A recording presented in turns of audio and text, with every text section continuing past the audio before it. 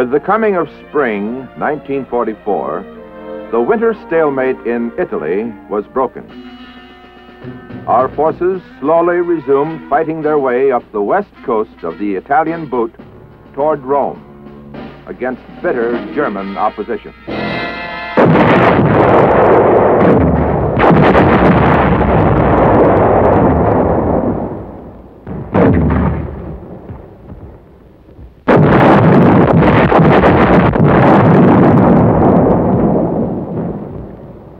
British advanced up the east coast in the face of equally bitter opposition.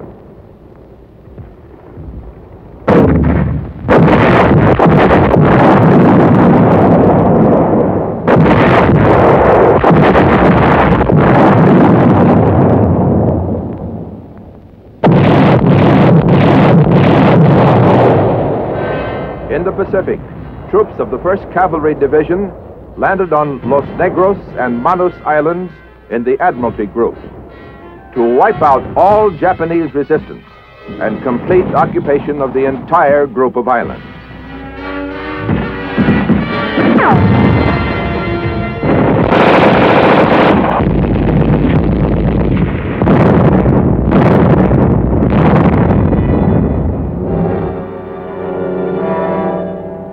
We landed large forces at Hollandia and Aitape on the north coast of New Guinea. General Stilwell and his troops were fighting the Japanese in Burma.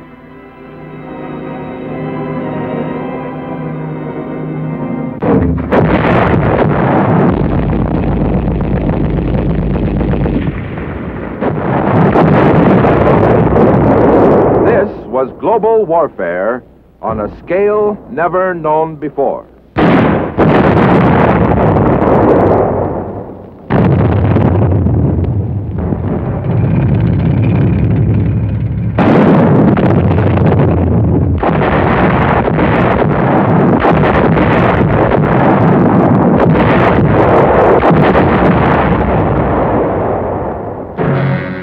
Less than three years before, Hitler had addressed the Reichstag.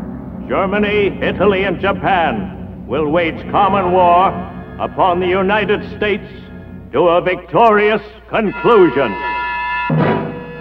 In Rome, his fascist partner had declared Fascist Italy and National Socialist Germany, ever closely linked, participate from today on the side of heroic Japan against the United States.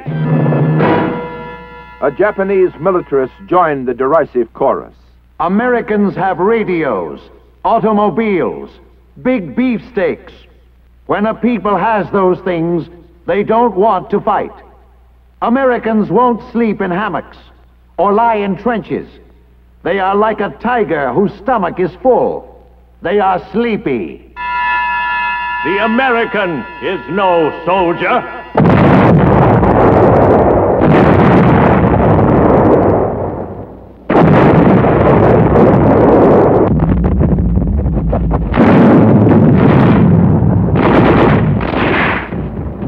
The American? No soldier? And yet there he was, carrying the fight to the boastful aggressors.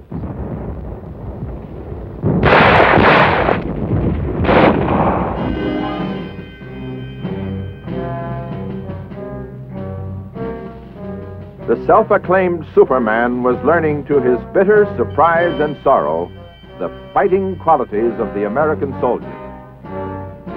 It seems the aggressors had made a slight miscalculation.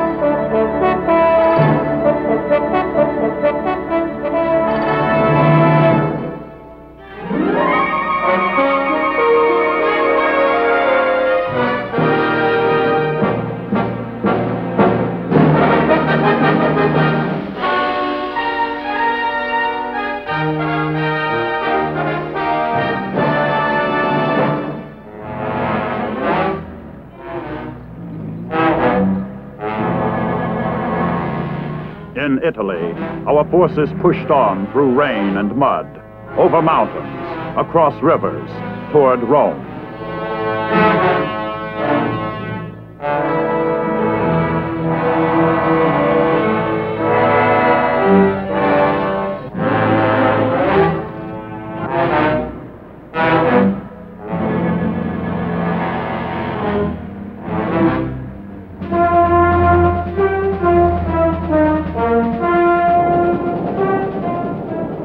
Power drive up the Italian boot forced the enemy to divert 30 of his divisions from France and the Low Countries, weakening his defenses along the English Channel coast, where our invasion of France was soon to come.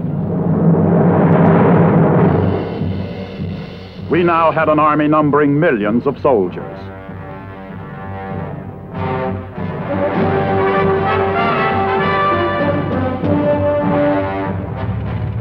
We now had 150,000 armored vehicles as compared to the 29 tanks the Army had in 1940.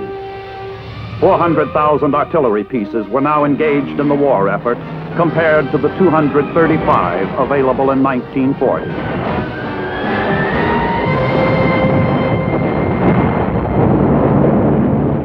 From a 1940 production capacity of 117 aircraft a month, we were now producing 9,000 planes of all types a month, a plane every five minutes, 12 an hour. Here now was an air arm of 150,000 planes supporting the coordinated Allied effort to wipe out enemy industry, supply routes, and communication facilities.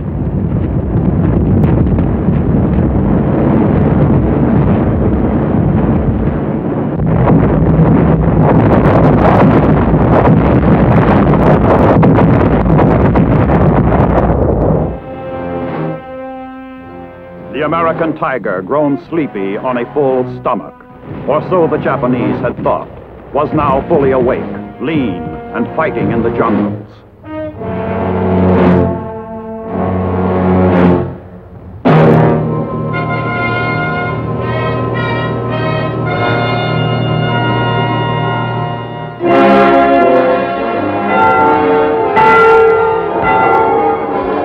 On the 4th of June, 1944, our Fifth Army captured Rome.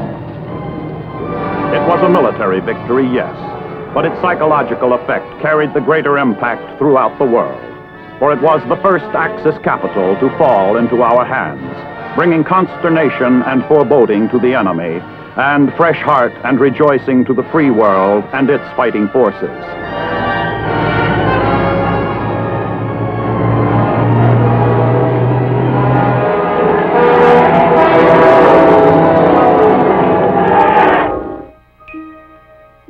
In England, after months of planning and preparation, it was D-Day minus two.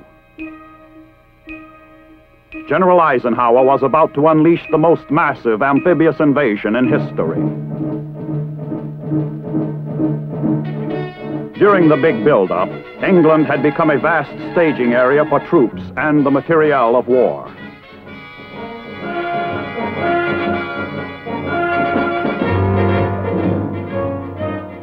Thousands of vehicles and ready to be assembled combat type aircraft, 20,000 railroad cars and 1,000 locomotives, 20 million square feet of covered storage and shop space. 44 million square feet of open storage space to hold the growing volume of supplies, wire, tires, bombs, shells, and other explosive devices. Awaiting invasion port embarkation were thousands of trucks and support vehicles, row upon row of tanks, and a wide range of artillery weapons. 170 miles of new railroad had been constructed to haul more than 2 million tons of supplies and combat hardware to the invasion ports. The United States Army had constructed 163 airfields in England for the Allied planes that were systematically bombing Germany day and night.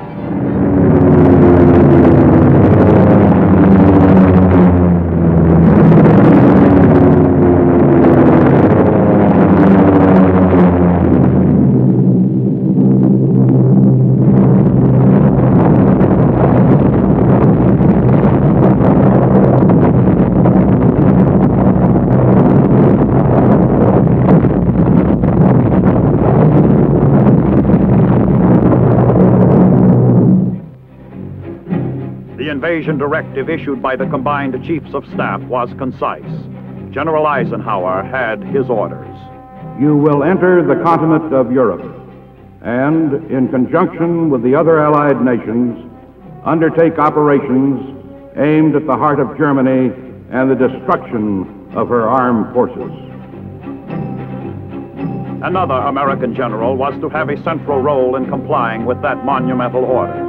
General Omar N. Bradley, field commander of American forces.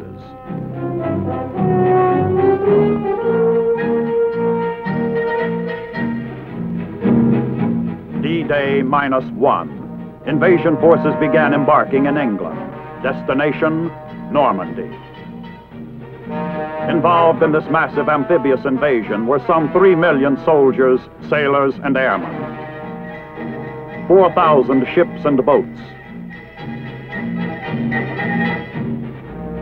20,000 vehicles of all types, and an endless list of combat support weapons.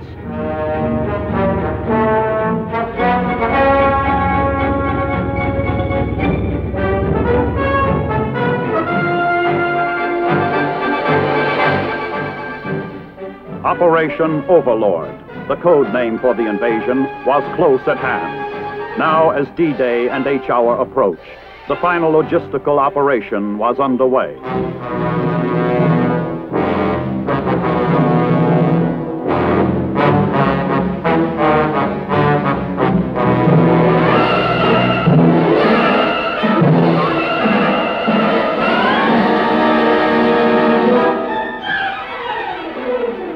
In the darkness before dawn on June 6, 1944, the Great Invasion began to unfold. 17,000 men of the 82nd and 101st Airborne Divisions, with over 2 million pounds of combat equipment and supplies, were airlifted to carefully selected drop zones behind the invasion beaches, where they were dropped to secure key road junctions and other strategic terrain objectives.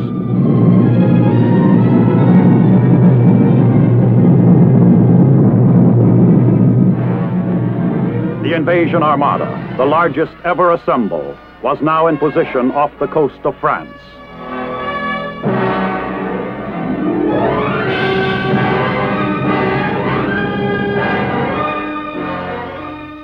While our assault forces prepared for H-hour, Allied naval power began their concentrated shore bombardment.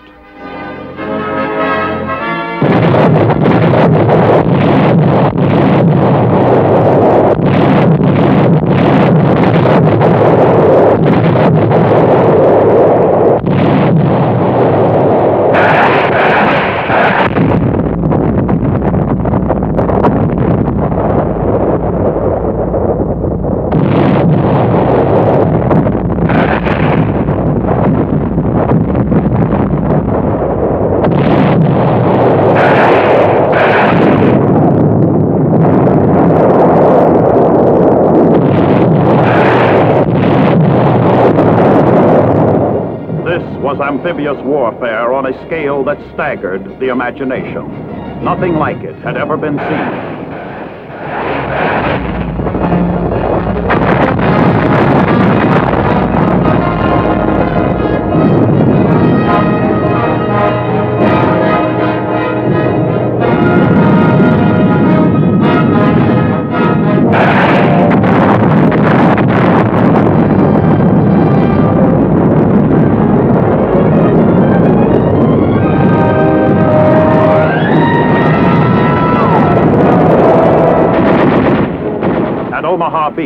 The first assault, 30,000 American troops stormed ashore. British and Canadian forces struck at three different beach sectors.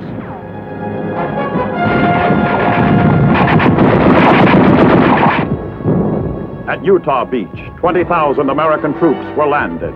By the end of the first day, our invasion force ashore totaled 120,000 men. With every passing hour, with each passing day, reinforcements streamed ashore to enlarge the beachhead with tanks, trucks, ammunition, and supplies.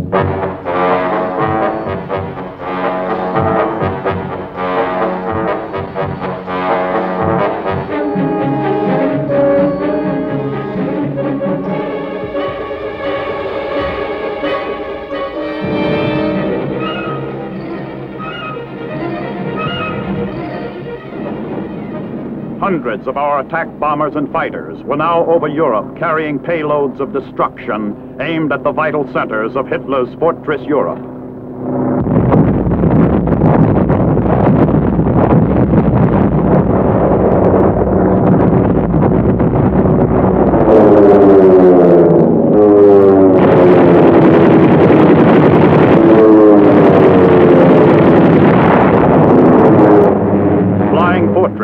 Heavy formations cascaded 3,500 tons of explosives, a ton every second, upon Nazi held positions.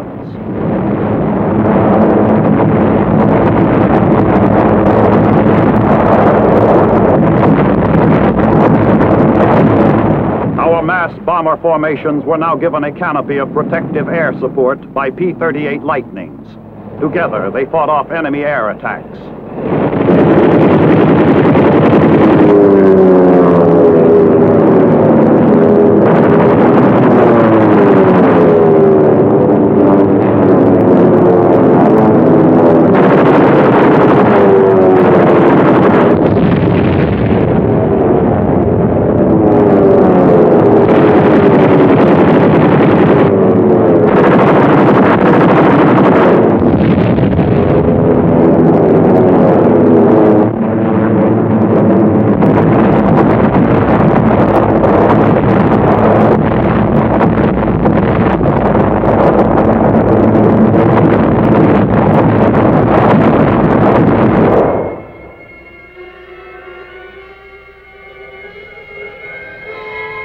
As the roar of engines and concussion of the bombs were still ringing in the ears of a dazed and battered enemy, our ground artillery opened up.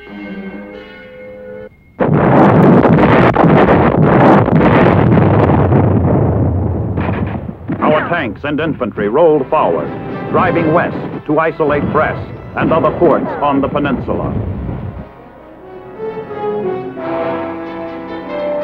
Other elements pushed south and east toward Paris.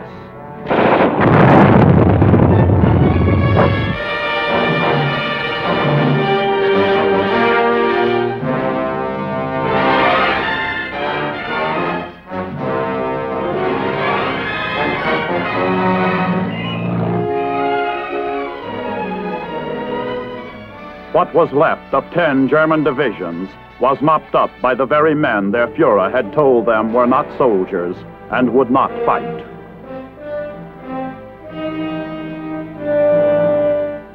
Again, the aggressor had made a slight miscalculation.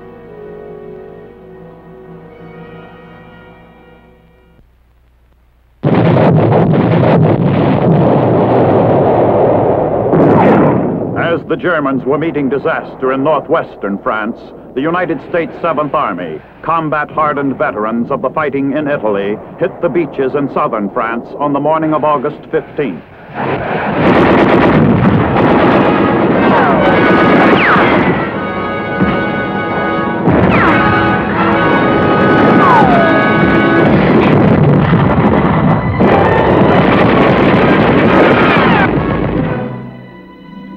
That day, 50,000 men and their equipment were landed.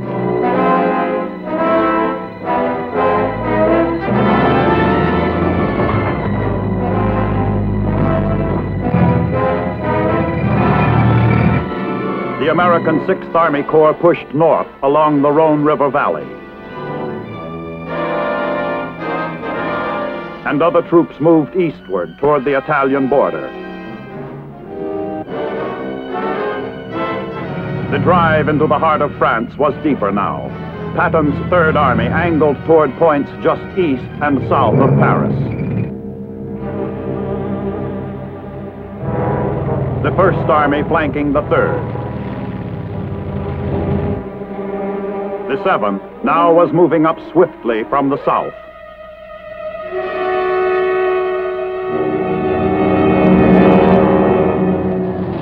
Ten days after the landings in southern France, Paris was liberated after four years of Nazi occupation.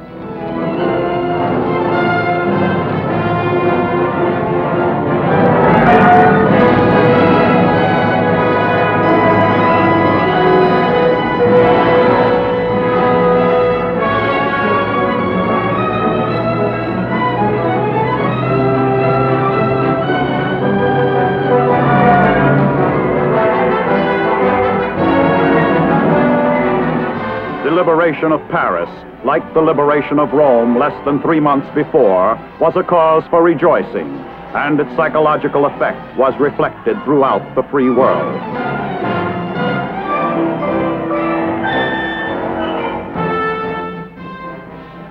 Among our troops, who paraded so proudly down the Champs Elysees, were some whose fathers had followed the same flag down that famous avenue a quarter of a century before, celebrating another victory, which they too had won in the best traditions of the American fighting man, and who had come there not for conquest, but to liberate. But the men of our fighting forces knew it was only one more important milestone along the rugged road to victory. Allied armies held bridgeheads all along the line of the Seine.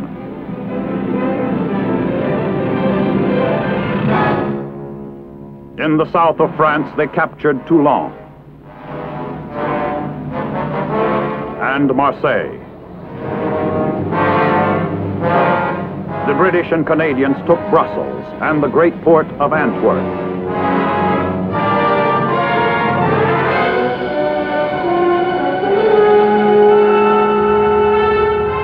The first American army pushed across the border into Belgium and drove on to Liège. The third took Verdun.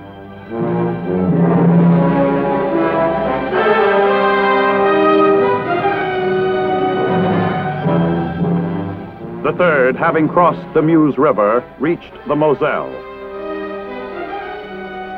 Now the Allied front ran on a line all the way from the Swiss border to the North Sea.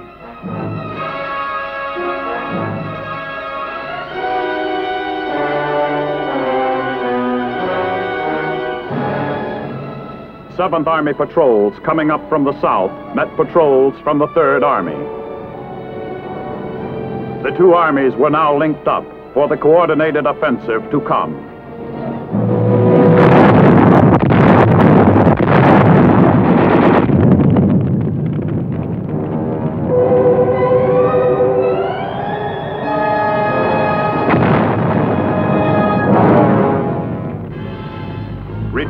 For Nazi forces caught on the wrong side of the line was cut off. We rounded up our share of prisoners.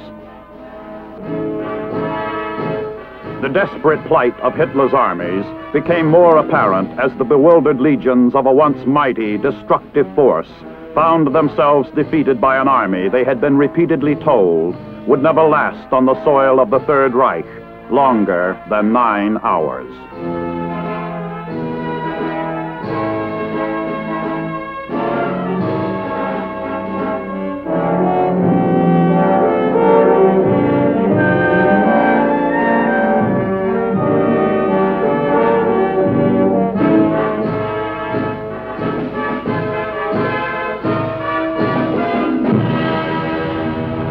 In the 97 days since the 5th Corps had led the assault on Omaha Beach, it had come nearly 500 miles and now drove across the German border and stood on the soil of Hitler's Germany.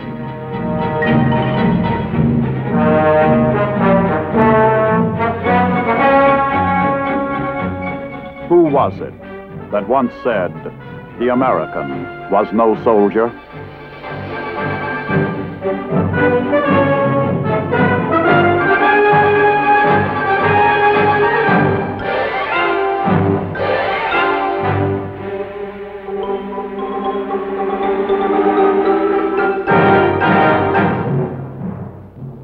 World War II, the American soldier proved his fighting qualities, as he always has and always will. He stands second to none, and his leadership is second to none. From private to general, he is the product of a free society conceived in liberty. He even has the power, through his right to vote in free elections, to choose his own commander in chief. He has a voice in making the laws which govern him. He has a precious heritage to defend, much to fight for when he must fight, to defend his good way of life. He prefers the arts of peace, as all men of goodwill do. Yet he knows how to practice the arts of war.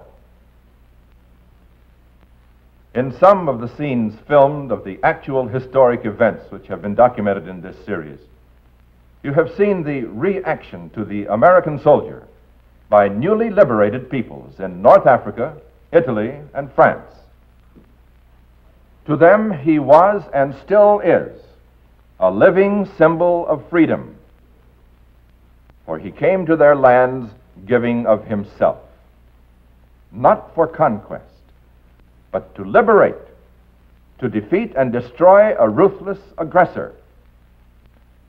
Or we might well say, the aggressor, who, like evil throughout history, lives on and has been known by many names. The aggressor, who would dictate and impose his will upon those he would conquer and enslave. And not the least among those who stand opposed to him is the American soldier. He knows the price of freedom is eternal vigilance.